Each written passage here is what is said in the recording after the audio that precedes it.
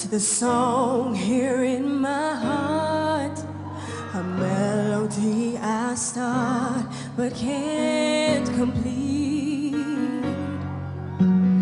Listen to the sounds from deep within.